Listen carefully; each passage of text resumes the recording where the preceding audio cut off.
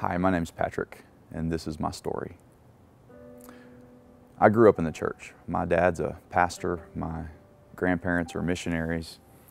I made a profession of faith when I was eight years old and I was baptized. And I really spent my whole life trying to fit into the culture that is the church. And I think that we have a way of talking, we have a way of acting, we have a way of, of, of needing to, to, to convey that everything is okay, that we have it all together, even if we don't.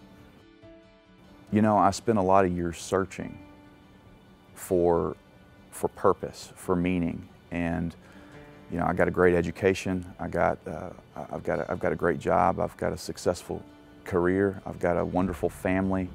I'm married and I've got two beautiful kids. And, you know, by the world's measure, yeah, I'm a pretty successful person.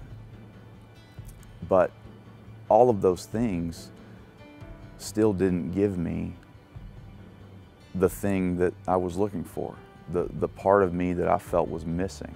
And I spent a lot of time and a lot of energy trying to find that on my own.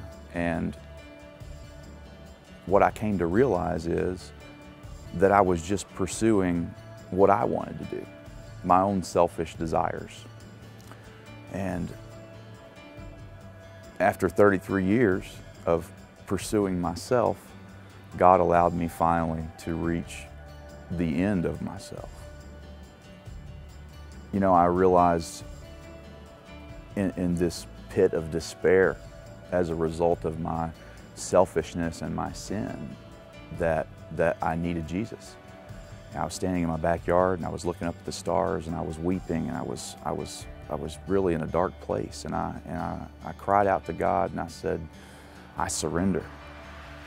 And in that moment of surrender and, and when, I, when I truly gave my life to Christ, not just, not just knowing the answers, not just knowing the, the, the prayer to pray, not just you know, going through the motions, but truly surrendering myself to Christ.